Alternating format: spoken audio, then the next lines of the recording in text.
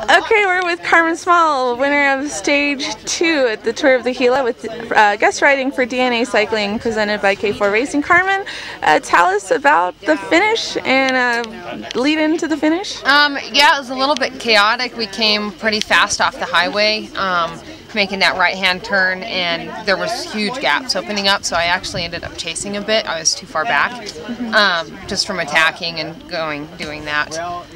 Um, and then I caught the front there was like front four or five people. I caught them and they kind of sat up and then I was on the front like 500 meters to go and that was not a good place to be.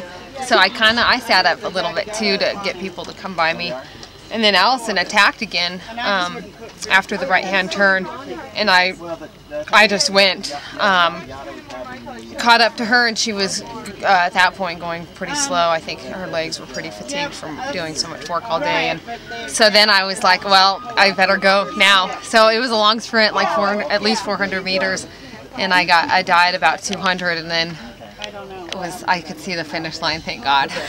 And how, how is it like guest riding? I mean, uh, you know these riders very well? Um, I, I mean, don't know them. This was okay. my first time meeting them. Um, I really enjoy it. Um, they're a development team, they're a smaller team, so it's been kind of nice to get them to do some things outside the box that they normally haven't and to teach them some things too and race as a team. They're doing a fabulous job.